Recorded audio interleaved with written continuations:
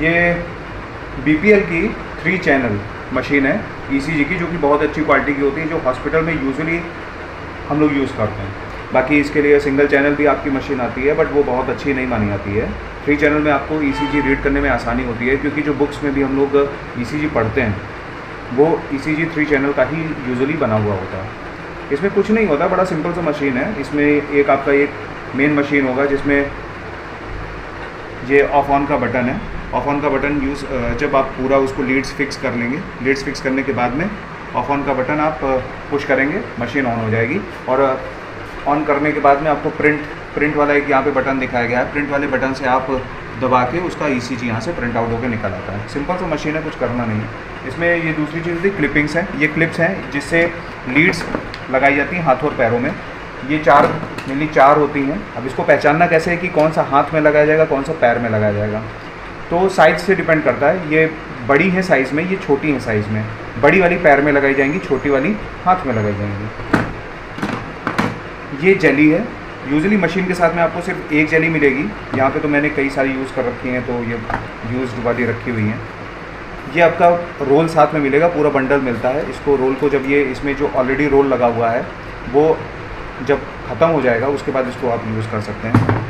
इसके बाद इसमें जो सबसे इंपॉर्टेंट चीज़ है वो आपकी ये लीड्स फिक्स करने के लिए जो लीड्स बनी हुई हैं। ये लीड सबसे इंपॉर्टेंट है।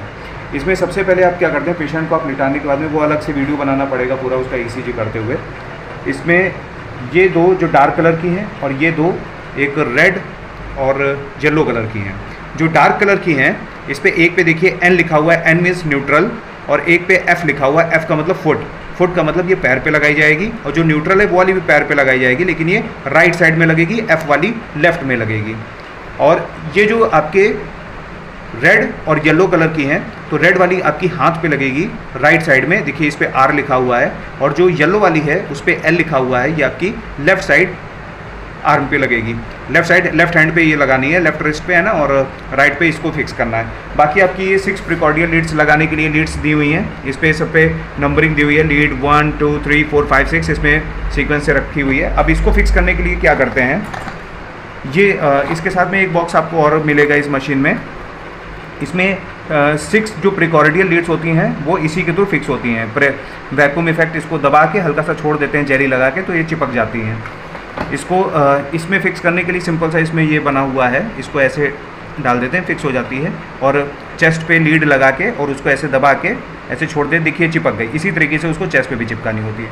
तो सिंपल सी मशीन होती है, बाकी और बहुत कुछ करना नहीं है। आपको मैं एक बार, जो ये हाथ पैर वाली लीड्स हैं, इसको भी किस तरीके से लगाते हैं, इस पर देखिए, कुछ नहीं है सिंपल सा है। ये बना हुआ है पोल्ट इसी को इसमें ऐसे फिक्स कर देते हैं पूरा। और हाथ वाली भी लगानी है तो ऐसे लगा देते हैं। तो मशीन में आपका कुछ नहीं है सिंपल सी चीज़ आपकी जो मेन मशीन है मशीन को ऑन करने के लिए जब आप पूरा पेशेंट को लिटा के और पूरा उस पर प्रिकॉर्डियल लीड्स लगा लेते हैं लिम्ब लीड्स लगा लेते हैं, उसके बाद में हम मशीन को ऑन करते हैं ऑन या ऑफ़ करने पे। इस तरीके से देखिए ये थ्री चैनल मशीन है बीपीएल की, बहुत ही अच्छी क्वालिटी की मशीन है। इसमें आपका जो मॉनिटर है, अगर आप प्रिंट नहीं भी लेना चाहते हैं तो इसमें आपको डिस्प्ले होगा।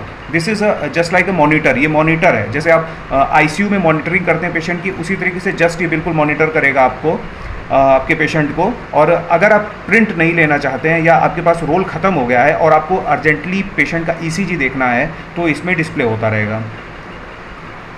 ईसीजी e के लिए बाकी नेक्स्ट वीडियो